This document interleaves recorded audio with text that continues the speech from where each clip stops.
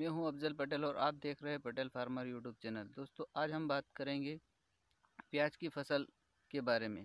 प्याज की खेती में कौन कौन सी बीमारी आती है, किस समय बीमारी आती है और प्याज की फ़सल के अंदर पीलापन, जलेबी रोग और कुछ माहू कीट और सुंडिया लग जाती है। ये किस कारण से लगती है?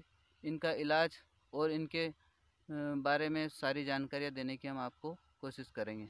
आज हम शाम को अपने प्याज की फ़सल को देखने के लिए आए, खेत का निरीक्षण कर रहे हैं। इसके अंदर हमें कुछ पीलापन दिखाई दे रहा है। प्याज की फ़सल के अंदर पीलापन मुख्यतः कुछ कारणों से हो सकता है। इसके अंदर जो पीलापन है, ये पोषक तत्वों की कमी के कारण भी हो सकता है। और सूक्ष्म पोषक तत्वों की कमी के कारण हो सकता है और पपुन जनित रोगों के कारण भी हो सकता है। इस पीलापन को हम दूर करने के लिए रासायनिक दवाइयों का स्प्रे भी किया जा सकता है। उसके द्वारा भी पीलापन को दूर किया जा सकता है। इस समय हमारी प्याज की फ़सल लगभग दो महीने की हो चुकी है। इसके अंदर फ़िलहाल बहुत थ्रिप्स का प्रकोप देखने को मिल रहा है, जिसके कारण इसकी लीप पर आप देख सकते हो कि धब्बे बन चुके हैं, जो कि रस चूसक कीड़ों के, रस चूसने के कारण इसमें जो पीलापन फ़िलहाल जो दिखाई दे रहा है, ये रस चूसक कीड़ों के, रस चूसने के कारण इसमें पीलापन आ रहा है। इसको दूर करने के लिए भी हम अंत में अपने वीडियो में सारी दवाई बताएँगे कि इसमें हमने कौन सा स्प्रे किया है, और इसके अंदर फ़िलहाल आप देखोगे कि इसके अंदर, इसकी पत्तियों के अंदर, सुंडियों का भी प्रकोप हो गया है। वो आपको मैं दिखाने की कोशिश करूँगा। आप देख सकते हो दोस्तों, किसान मित्रों, ये जो लीप आप देख रहे हो, इसके अंदर अब सुंडी अंदर घुस चुकी है, आप देख सकते हो। ये देखिए दोस्तों, मैं आपको यह बताने की कोशिश कर रहा हूँ। आप देख सकते हो, ये इल्ली जो कि इस लिप के अंदर पूरी तरह घुस गई है। और इसके कंट्रोल के लिए भी हमें इंसेक्टिसाइड का उपयोग करना पड़ेगा। इस इल्ली को अंदर की इल्ली को मारने के लिए, ख़त्म करने के लिए हमें इमामेट्रिन बेंजोइट का उपयोग करना पड़ेगा, जिसका डोज हम 50 ग्राम बीघा के हिसाब से देंगे। इसका डोज और इसका पूरा इमेज आपको हम दिखा देंगे। देख सकते हो दोस्तों, इल्ली का प्रकोप प्याज में इस समय दिखाई दे रहा है।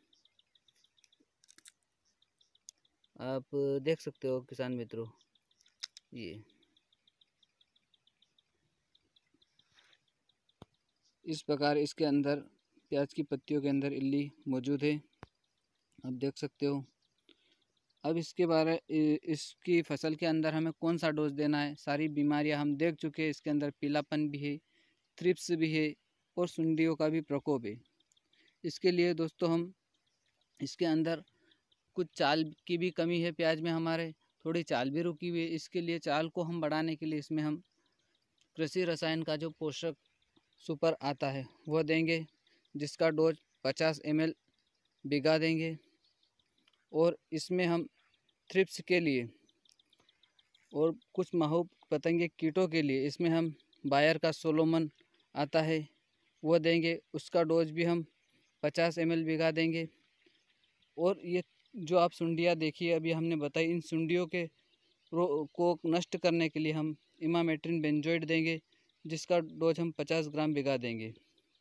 और इसके अंदर जो पीलापन है और जो फंगस रस चूसक कीड़ों के कारण जो फंगस बन गई है, इसको दूर दूर करने के लिए हम बी एस एफ़ का मेरी देंगे, जिसका डोज हम 40 एम प्रति बीघा के हिसाब से देंगे। इन सब दवाइयों के साथ हमें अंत में चिपको का उपयोग ज़रूर करना है, किसान मित्रों मेरे द्वारा जो अभी बताई हुई जानकारी, अगर आपको सही और उचित लगी हो तो मेरे चैनल को सब्सक्राइब ज़रूर कीजिए और बनाए हुए वीडियो को जो वीडियो आप देख रहे हैं, इसे लाइक कीजिए और दूसरे किसान मित्रों को शेयर कीजिए, ताकि यह जानकारी दूसरे किसान मित्रों तक भी पहुँच सके।